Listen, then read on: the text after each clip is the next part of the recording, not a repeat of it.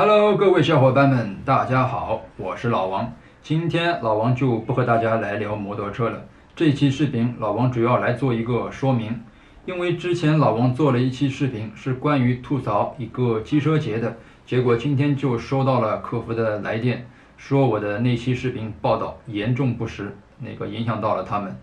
其实那个准确的说，应该不是一个报道吧，就是一个个人的旅行 vlog，就是我在汽车节的一些个人见闻，呃，个人的体验。结果可能被他们的负责人看到了吧，就是反正就是很不开心的样子，说我的这期视频啊对他们造成了负面影响，要求我删除掉。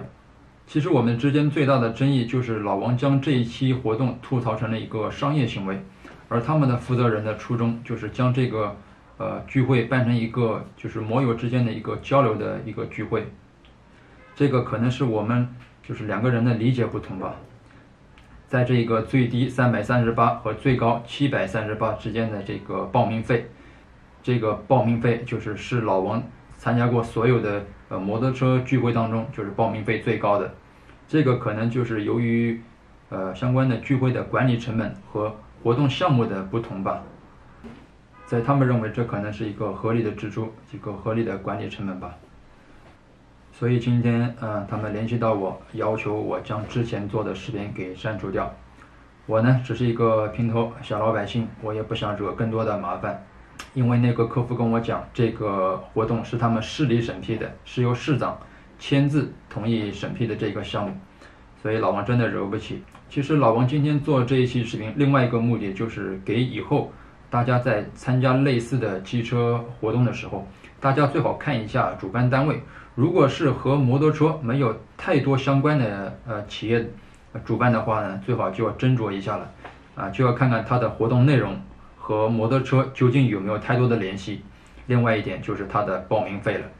我觉得一个真正为摩友举办的一个聚会的话，它应该是想办法的为摩友们减少他们的支出。因为来自全国各地的摩友能够聚集到一起，从很远的地方骑过来，确实也挺不容易的。既然是为摩友们做交流的一个平台，我觉得就不要掺杂太多的商业元素，对吧？所以大家以后在参加类似聚会的时候，首先呢就是根据自己的能力来，或者就是根据这个活动的主办单位、主办内容啊来就是来选择吧。像这一周就是呃那个常州金坛。有一个聚会是 KTM 主办的，他的那个聚会我感觉就非常的好，他的各方面的活动我觉得都挺好的，最重要的是他的报名费只有一百五十块钱，其中包括三餐和两日的保险，还有一个两个五 A 旅游区的一个门票。老王觉得这个活动还是挺给力的，比之前的那一个活动靠谱多了。之前的那个视频，反正老王还是非常的坚定认为它就是一个商业活动。所以他以后的聚会，老王也不可能再参加了，啊，也不建议大家再去了。那么今天这期说明就和大家啊说到这里了，还请大家能够继续的关注老王吧，我也会在以后呢出更多更好的视频。那我们就下期再见吧，拜拜。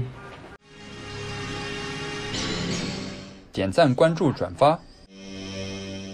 谢谢。